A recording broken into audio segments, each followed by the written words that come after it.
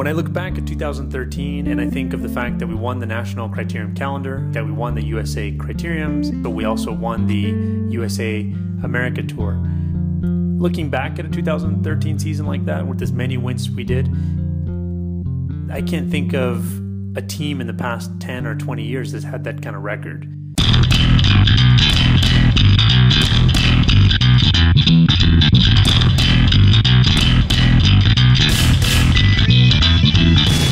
The first race of the series started in Tucson in Arizona. You know, a few new guys, Carlos Alzate was new, Luke Keough was new, but you know, we really had a goal this year that we felt through training camp, we really spoke up and thought, you know, we could almost win every criterium we start. In building the 2013 criterium team, when we started thinking about how to win race after race, we focused on making sure we had enough speed, but also riders that had enough power to deliver that speed.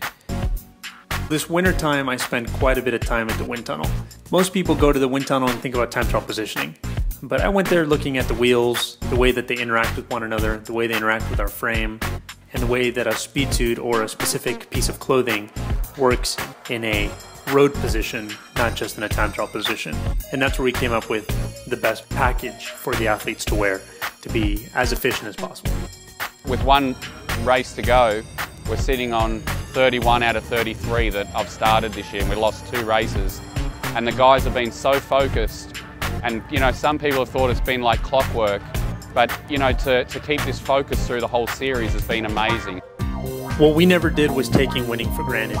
We focused every single race on perfection. After every race, we had a meeting, even if we won the race, even if we swept the podium. We met time after time and discussed where we made mistakes, where we could have ridden better, what were things that we needed to improve on, and each individual rider's strengths and weaknesses.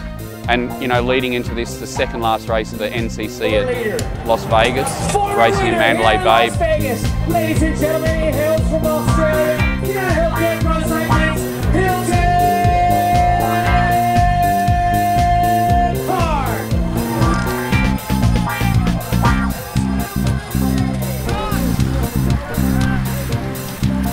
Got nice tyres, it's really slick in this car park.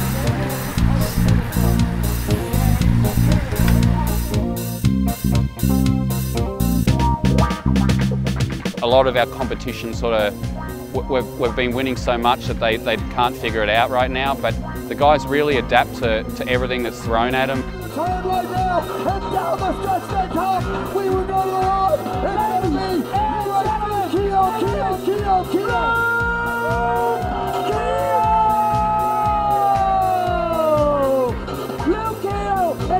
United Healthcare went first, second, third. We've had so many scenarios thrown at us and the guys keep coming out with the goods. So it's just been a, it's been a great experience to be part of this. For sure, the bar has been set high for 2014, but we'll find a way to excel and look beyond it. We'll find a way to push uh, the boundaries a bit further